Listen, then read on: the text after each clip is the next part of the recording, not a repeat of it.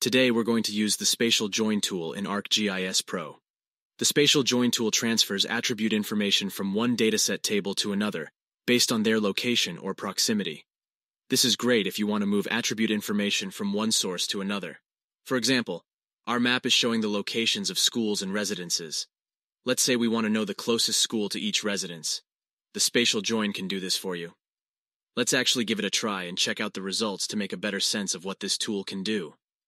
First, click on the Analysis tab. Then, select the Tools button. The geoprocessing tools will appear on the right-hand side. Now, type in Spatial Join in the search bar. Alright, this must be the right tool. Click the Spatial Join tool. Let's take a look at the inputs required. The first input is the target feature layer.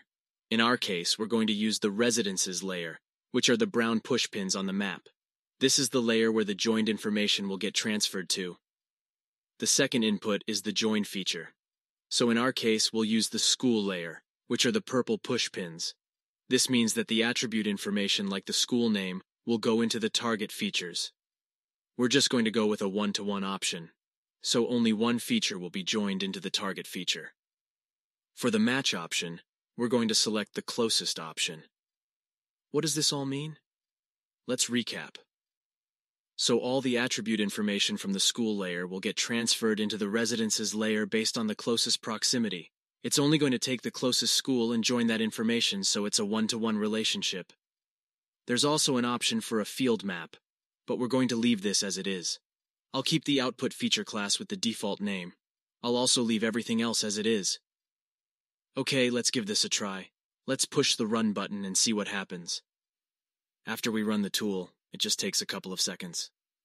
You'll see the output layer eventually pops up in the map. Now let's take a look at some of the attributes from the spatial join layer. As you can see, there is a new column called name, which is the school name. So it looks like the spatial join worked by transferring this information over. In our case, it is either Richmond Primary School or Norwood Primary School, and it's based on the closest distance to the residence. Let's select a couple to make sure it makes sense. So this residence is closer to Richmond Primary School. That looks correct on the map. And this one is closer to Norwood Primary School, as expected. So in this tutorial, we use the Spatial Join tool in ArcGIS Pro. After using the Spatial Join tool, it successfully identified which school is closest to each residence. We hope you enjoyed our video. Please subscribe to our channel so we can make more GIS tutorials. Don't forget to fill out the comment form for any ideas you have for us. We'd love to hear from you.